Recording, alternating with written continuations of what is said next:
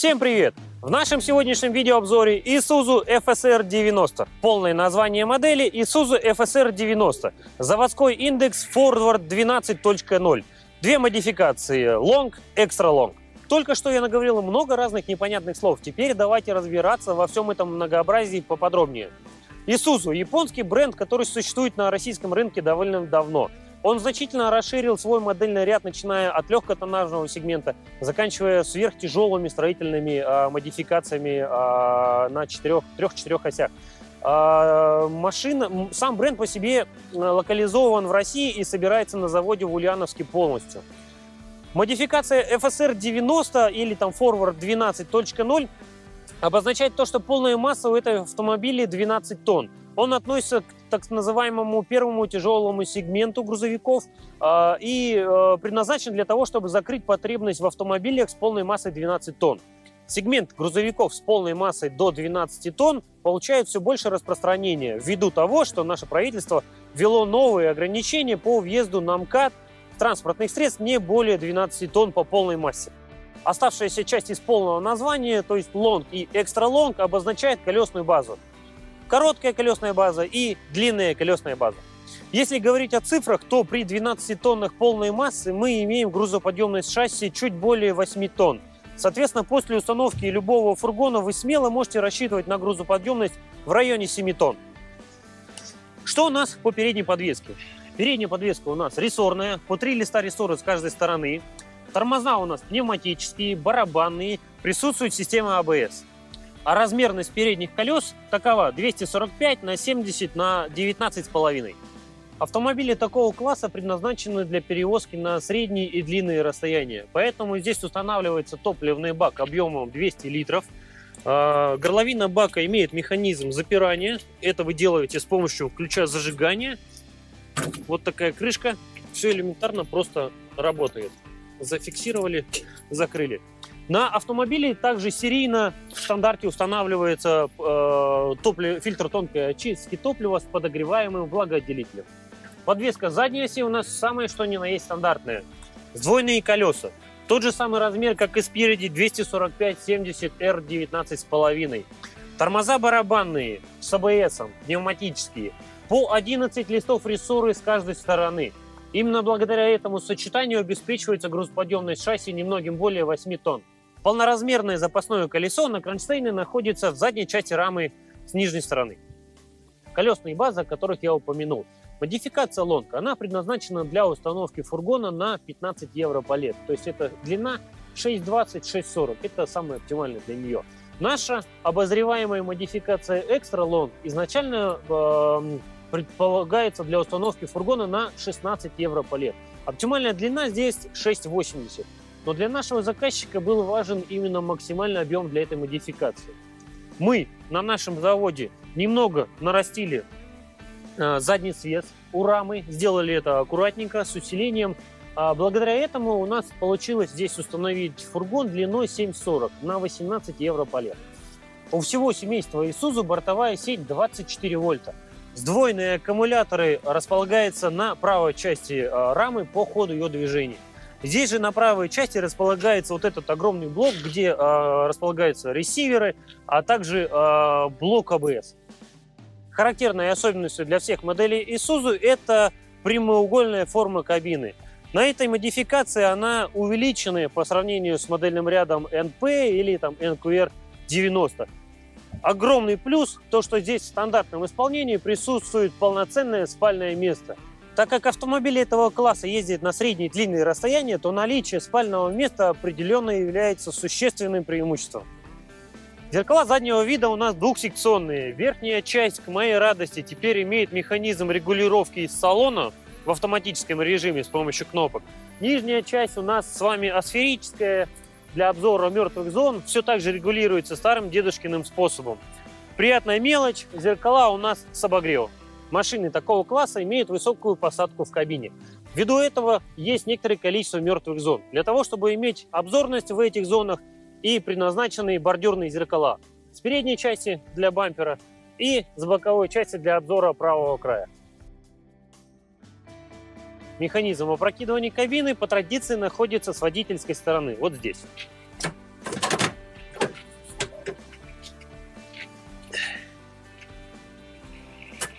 Кабина фиксируется в открытом положении с помощью вот этого защитного механизма. На эту модель серийно устанавливается турбированный дизельный двигатель в единственном экземпляре. Его объем 5,2 литра, его мощность 210 лошадиных сил, крутящий момент 706 ньютон-метров. Он отлично работает в паре с механической шестиступенчатой коробкой переключения передач. Автомат здесь не предусмотрен.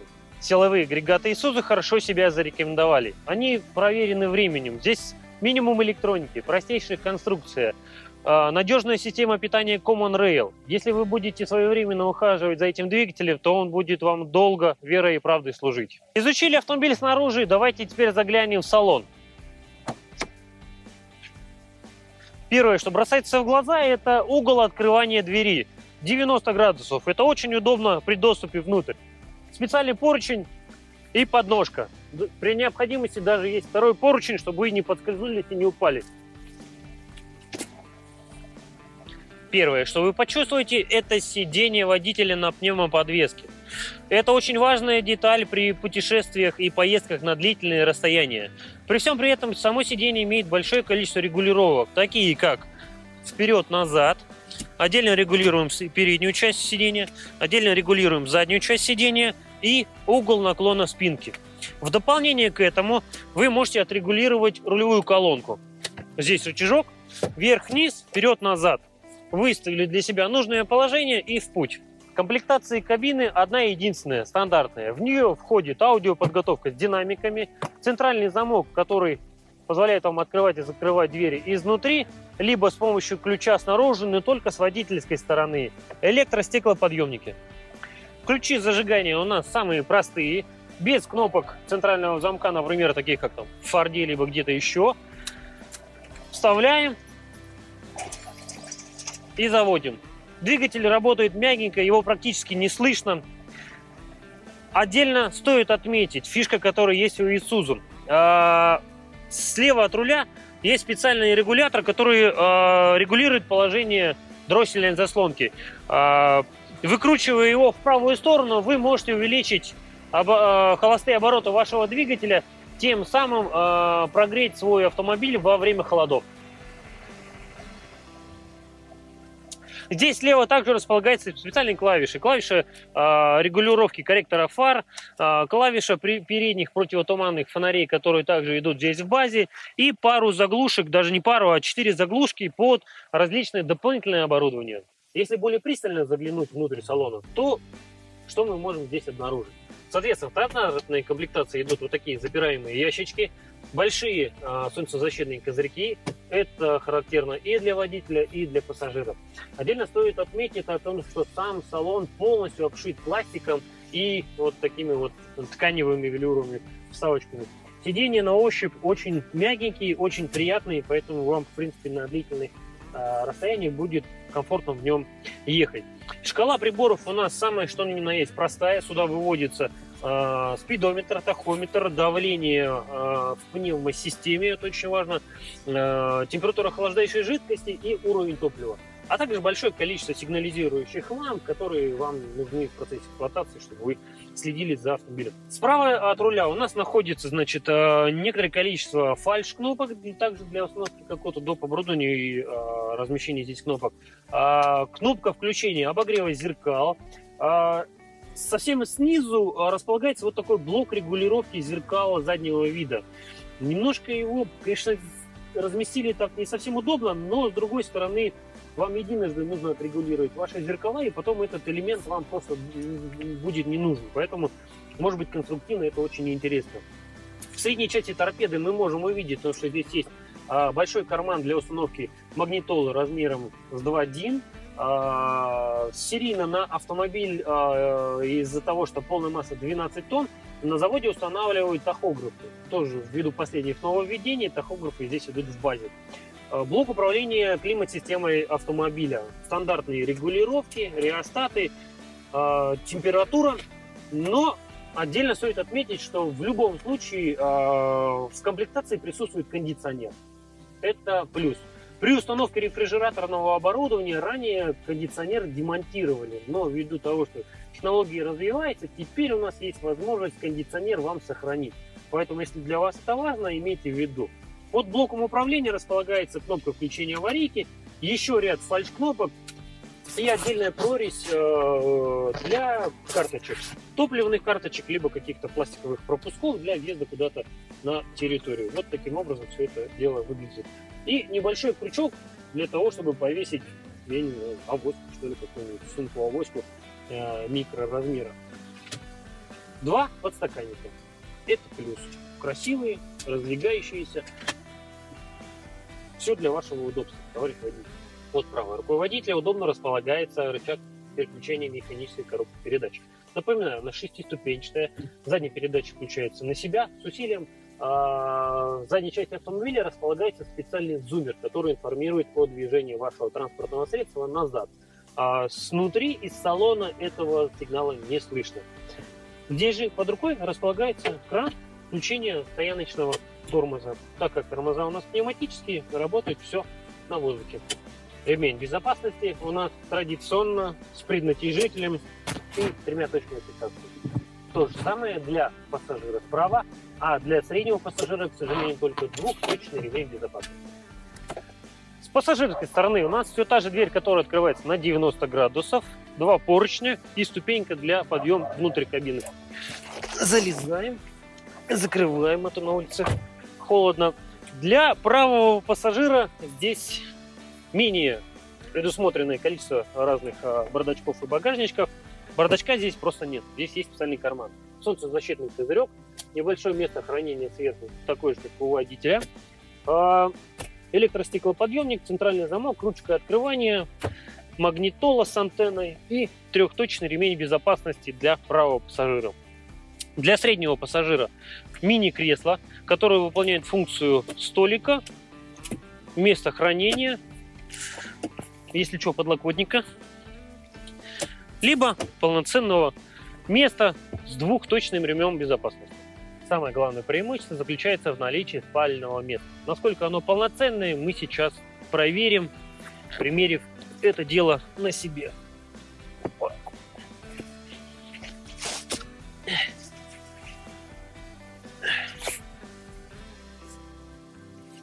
Мой рост 185 сантиметров, и я практически впритык здесь помещаюсь. Поэтому вам при росте до 185 сантиметров здесь вполне комфортно будет разместиться. Само по себе спальное место вполне неплохое. Оно годится да, для машин такого класса при стоимости. Мы не говорим о более дорогих, типа, как Умана или как Века Еврокарго. Обшито пластиком, есть возможность повесить шторку. Но один серьезный недостаток. Если человек будет ночевать в этой кабине, Здесь отсутствует э, независимый отопитель кабины, так называемый фен. Э, и если на улице будет прохладно, то автомобиль должен будет при этом находиться в заведенном состоянии. То есть это серьезный расход топлива дополнительный. Э, вот, к великому сожалению, отопитель здесь не предусмотрели. Но если что, мы можем вам его здесь доустановить. Поэтому это не проблема. Базовое шасси мы с вами изучили от начала и до конца.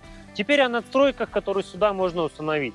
Повторюсь еще раз, на короткую колесную базу сюда можно установить фургон длиной 6,2-6,4 метра. Это 15 евро по лет вместимости, кубатура в районе там, 35-38, в зависимости от надстройки.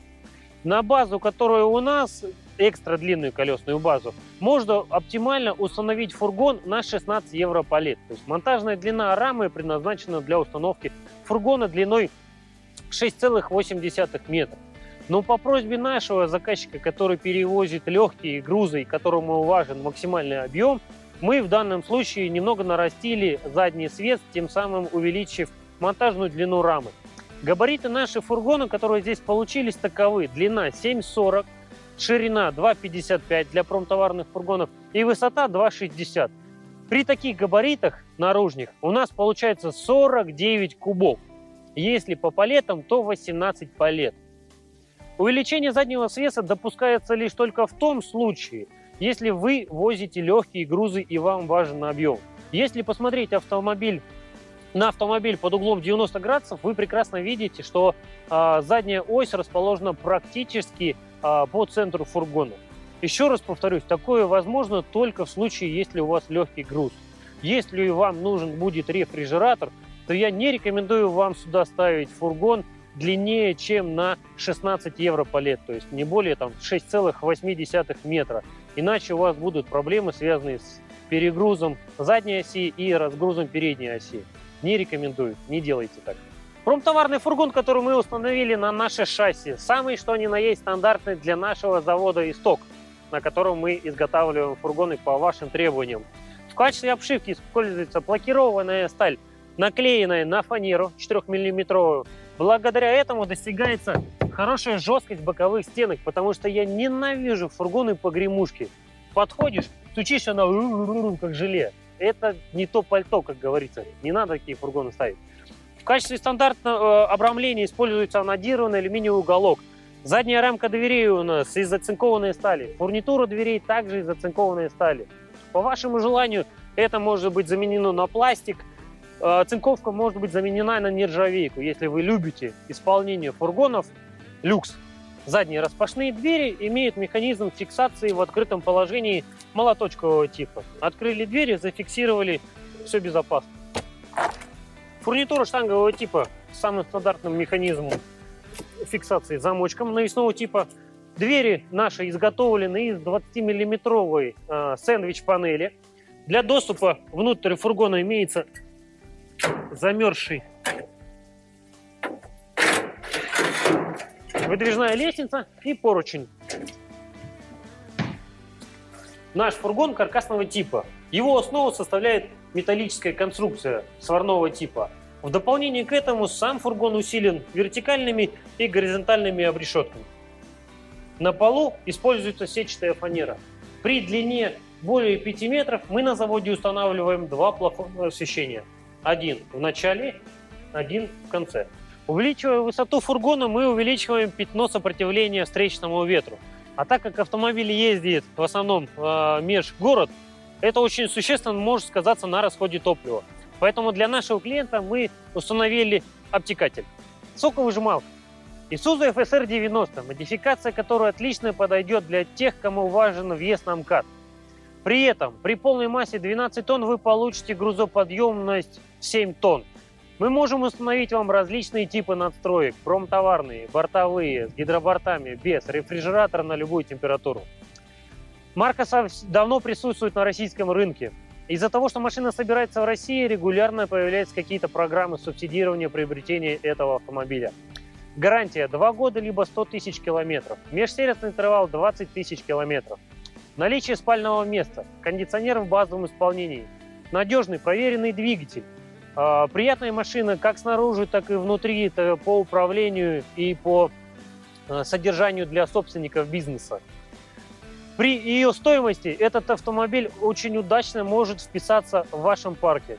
А в условии того, что у Isuzu а, широченная гамма модификаций от легкого тоннажа до тяжелого тоннажа, то вы с помощью этой марки без проблем можете вырастить свой корпоративный парк из одного бренда. Если есть какие-то вопросы, если нужны какие-то консультации, обращайтесь к нам в автосалон. Мы обязательно вам поможем и подберем для вас тот автомобиль, который отлично подойдет именно вам и вашей компании. С вами был Сухин Кириллов.